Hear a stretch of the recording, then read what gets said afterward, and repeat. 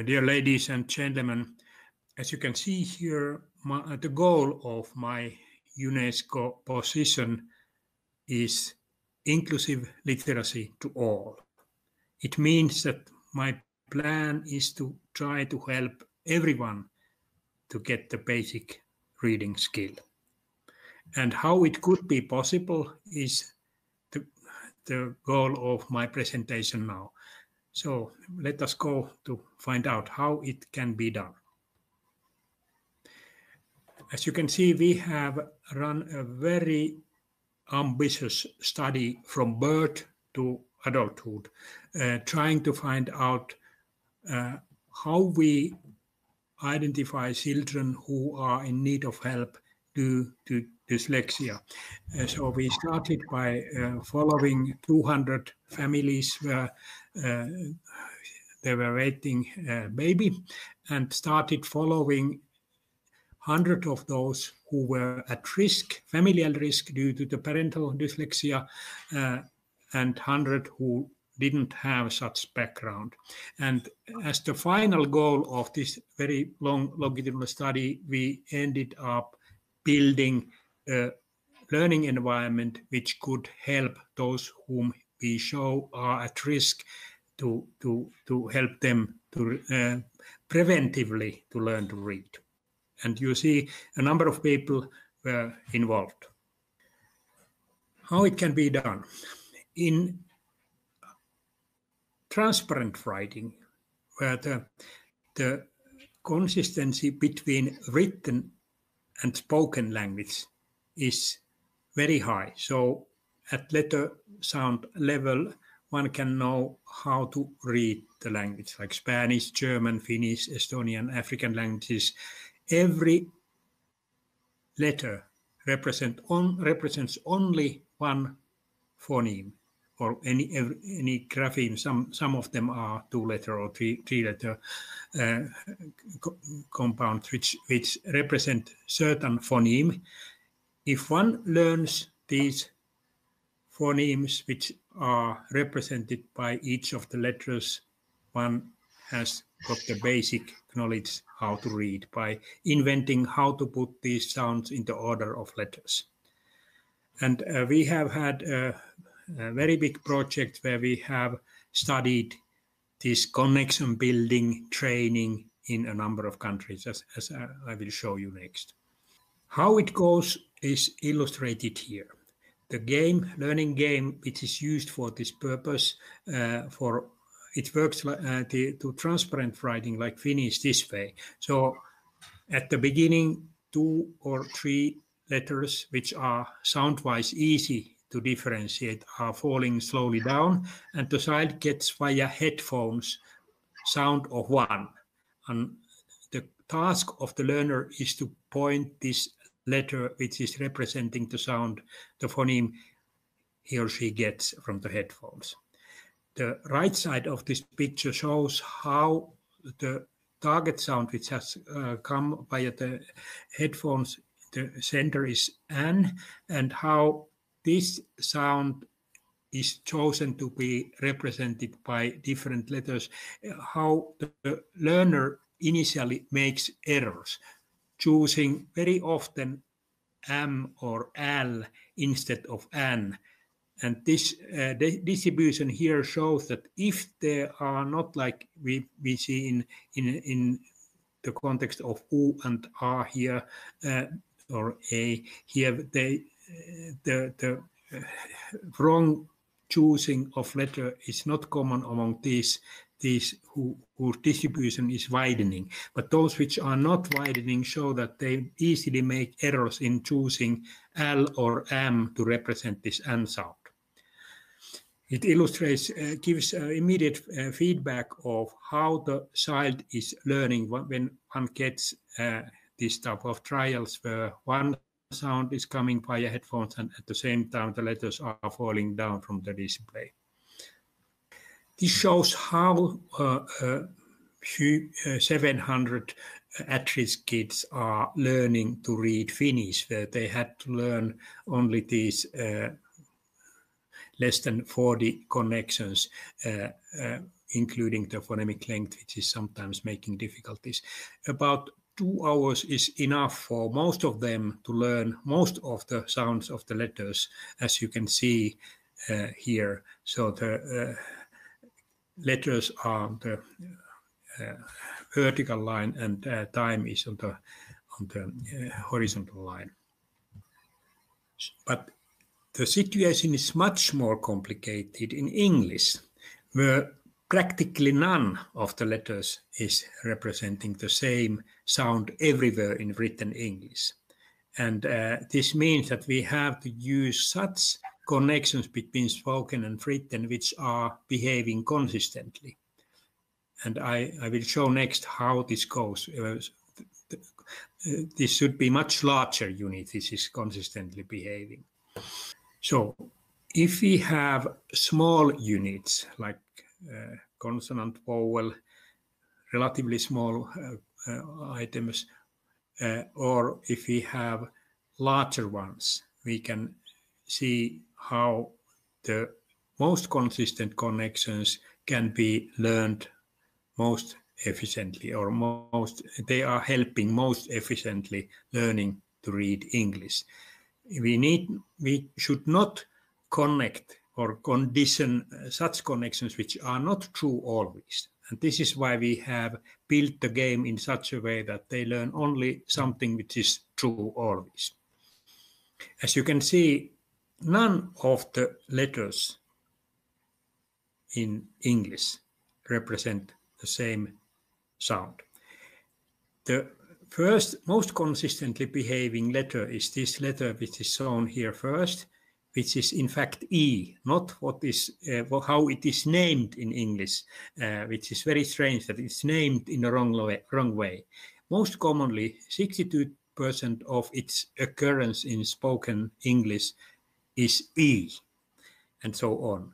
We can see that some of the consonants are relatively consistent, but uh, experts say me that none of the letters are 100% uh, consistent, which means that we have to use larger units. It shows how the game is going when we have these larger units.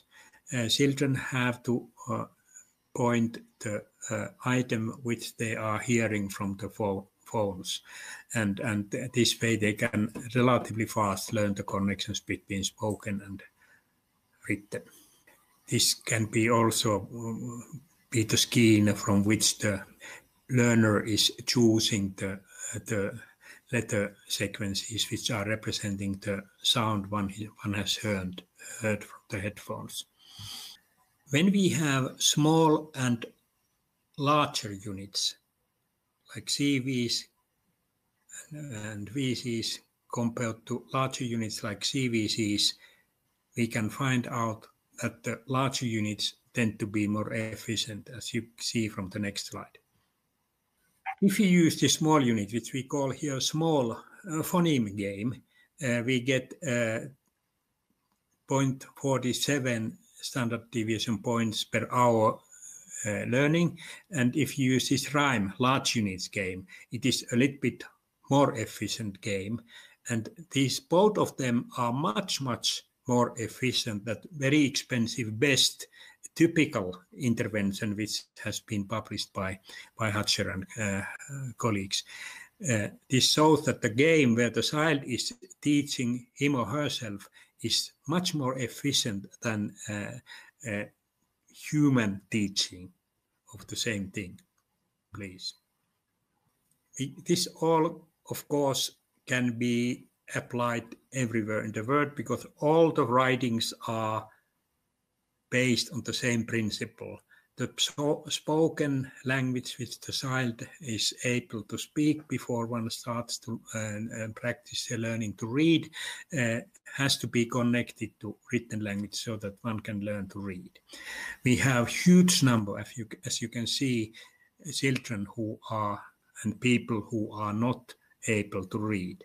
And independent of whether the reason is biological, meaning dyslexia, or education, like in Africa, where in many countries practically none learns to read today, and, and, and whether it's social reasons or not, child is not getting support for being helped to be engaged to practice. Uh, every such situation is open to be handled using this uh, game, which is working in all available devices and very cheap ones as well. So what we can have done is uh, to build this all on the evidence-based foundation so that everything we do is done first by collecting evidence that the version of the game built for a certain language, whether it's English or some other language like French or, or, African language, is made in such a way that when this game is used in the environment, uh, this language is uh, read, we, we then uh, have shown that it, it really helps the child to learn. So careful study of the written language environment, evidence-based documentation that the implementation of the sounds and the letters are correct, and also attempt to have the local Ministry of Education to accept uh, the, the distribution in such a way that, that uh, everyone, including the teachers, who in Africa are not necessarily knowing how to teach because they African teachers nowadays are uh, trying to teach the local language but have learned at school age English, which means that they don't know that it's not ABCD what, what they have to introduce, but ABCD, because the uh, writings are very transparent in Africa, in sub-Saharan Africa.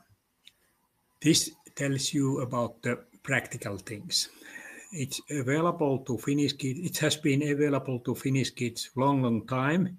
We may have one third of the age cohort playing during one single day this game, which teaches uh, reading or Finnish. Most typical kids learn it very fast. They need not to play it for hours. Only less than an hour may be enough for most. But if the child is at risk of dyslexia or is affected by dyslexia, then many hours may be needed. and the optimal way to go is to use short sessions, not to avoid them becoming full of it, several times per day in subsequent days, and starting at the time they enter school, so that they cannot get uh, experience that they are poorer than the other uh, class, uh, classmates. It's very important. this uh, picture shows in which countries we have been running our studies uh, to document that it's validly implemented and it re it's really effective. In 16 countries, it is now dis under distribution to everyone who needs help. And in many countries, it's still under study, like in India and so on.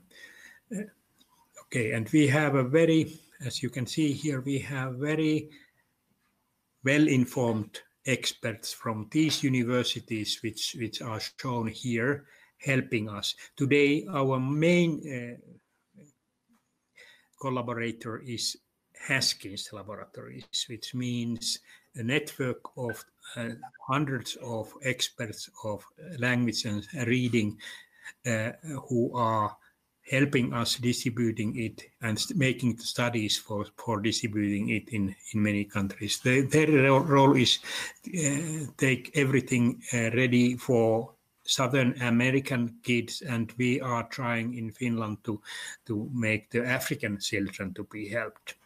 This uh, slide summarizes all the important information you need for learning more like if you wanted to have a reprint of these hundreds of papers we have published, uh, which can be seen uh, uh from from my uh, page, which is uh, my name uh, info. you can you can order whatever of them or see them from GraphoLearn info, which contains the most important papers, so that these research which is associated to finding how it helps children to learn is uh, collected uh, or the references are collected, for example, there, and there are some demos as well. And this Springer paper uh, is an open access paper which tells uh, the background research, which is uh, summarizing the uh, studies associated to this longitudinal follow-up of children from birth to adulthood if they have biological reasons to uh, need this type of help. And this human technology paper, which is also open access paper, there uh, tells the basic principles of the game, how it works. So thank you very much for your attention.